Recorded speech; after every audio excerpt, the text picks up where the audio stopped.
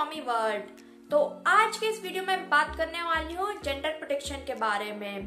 तो हमारे जो समाज है, हमारे जो बड़े बुज़ुर्ग लोग हैं, ऐसे बहुत सारे जेंडर प्रोटेक्शन करते हैं जब, है ना, कोई लेडी प्रेग्नेंट होती है कि उसको देख के, उसके चलने वलने के भाव से या उसका बैली देख के या बैली बटन देख के ऐसे बहुत सारी चीज़ें हैं जिनको देख के वो प्रिडिक्ट करते हैं कि उनका, उस लड़की का बेबी बॉय होने वाला है या बेबी गर्ल तो ये बहुत सारे प्रचलित हैं। तो इनमें से ही एक जो बेली बटन को देख के बोला जाता है कि बेबी बॉय होने वाला है या बेबी गर्ल उसके बारे में मैं आपसे आज बात करने वाली हूँ। मैं अपना एक्सपीरियंस शेयर करने वाली हूँ कि है ना, मेरा प्रेगनेंसी ड्यूरेशन में बेली बटन बाहर था, अंदर था, और मुझे क्या हुआ? बेबी बॉय हुआ बेबी गर्ल हुआ।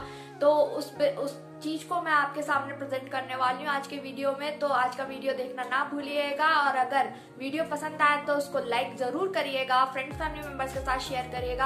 अगर आप नए हैं मेरे चैनल पे तो मेरे चैनल को सब्सक्राइब करिए, क्योंकि यहाँ पे मैं वीडियोस बनाती हूँ pregnancy post pregnancy child care vlogs baby photoshoot और ऐसे बहुत सारे वीडियोस फन एंटरटेनमेंट आपको सब मिलेगा जो एक मदर की लाइफ में होता है। तो चैनल को फटाफट से सब्सक्राइब करिए, बगल का बेल नोटिफिकेशन आइकन भी दबा दीजिए, जिससे आपको वीडियोस के अपडेट्स मिलते रहेंगे। तो चलिए फटाफट से स्टार्ट करते हैं वीडियो वैसे तो बेबी बॉय हो या बेबी गर्ल दोनों ही बराबर हैं। आज की डेट में ऐसा कोई काम नहीं है जो लड़का कर सकता है, लड़की नहीं कर सकती। ना ही ऐसा कोई काम है जो लड़की कर सकती है, लड़का नहीं कर सकता। तो दोनों ही बहुत ही इक्वल है। कोई भी हो बेबी बॉय बेबी गर्ल हमें बहुत प्यार से रखना है, प्यार से रेस करना है उनको। पर प्रेगनेंसी ड्यूरेशन में एक मदर को और या उसके फैमिली मेंबर्स को पेरेंट्स को, सबको बहुत एक्साइटमेंट सा रहता है कि क्या होने वाला है। जो नाइन्थ मंथ ड्यूरेशन होता है, पूरे टाइम ये सोच सोच के रहता है कि बेबी बॉय होने वाला है या बेबी गर्ल मेरे साथ भी ऐसा ही था कि मैं बहुत सोचती थी बेबी बॉय होगा तो ऐसा ऐसा करेंगे बेबी गर्ल होगा तो ऐसा क्यूट क्यूट ड्रेसेस खरीदेंगे उसके ना हेयर बैंड रबर बैंड तो ये चीज़ें बहुत एक्साइटेड रहती हैं। तो बहुत सारे जो मैंने बताया कि ओल्ड वाइफ टेल्स प्रचलित है जो टेस्ट प्रचलित है तो वो भी मैंने अपने प्रेगनेंसी ड्यूरेशन में किए कि मेरे को क्या होने वाला है। बहुत सारों में ये आया कि बेबी बॉय होगा आपका बहुत सारों में ये भी आया कि बेबी गर्ल होगी।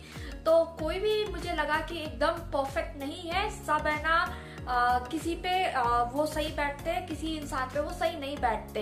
इट ऑल डिपेंड्स बट आज जो मैं आपको बताने वाली हूँ वो है जो बैली बटन बैली बटन अगर बाहर निकला है और अंदर है तो उनका क्या मतलब होता है, जो प्रचलित है और क्या मेरे साथ वो फिट बैठा या नहीं।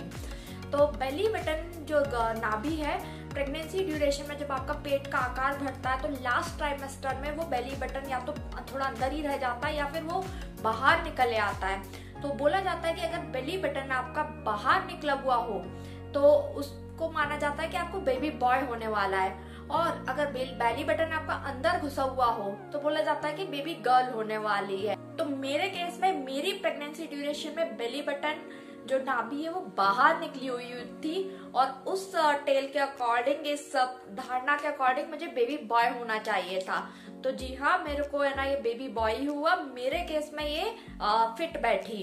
तो इस टेस्ट को आप लोग है ना, बिल्कुल फन एंटरटेनमेंट इसी तरह से लीजिएगा। ज़रूरी नहीं है, मेरे केस में ये फिट बैठी तो आपके केस में भी ये फिट बैठे। तो इसलिए ये सब चीज़ें फन एंटरटेनमेंट तक ही लिमिटेड रखे तो ही अच्छा है। तो बस आप है ना, ऐसे ही फन एंटरटेनमेंट के लिए अपने, अगर आप प्रेगनेंसी ड्यूरेशन में तो ऐसा कर सकते हैं। अदरवाइज़ इनमें कोई भी विश्वास करने वाली बात नहीं है। तो आई होप आपको ये वीडियो अच्छा लगा होगा एंटरटेनिंग लगा होगा। तो अगर ऐसा है तो लाइक करिए फ्रेंड फैमिली मेंबर्स के साथ शेयर करिए सब्सक्राइब करिए चैनल को। तो फिर मिलते हैं एक नए वीडियो में, तब तक के लिए बाय बाय टेक केयर